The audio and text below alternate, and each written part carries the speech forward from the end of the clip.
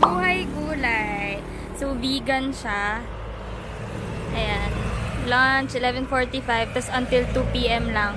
Tapos, mag-open ulit sila ng dinner 6.30. It's until 9pm. We're open until there's food left. So, pag wala na, nagko-close na sila maaga.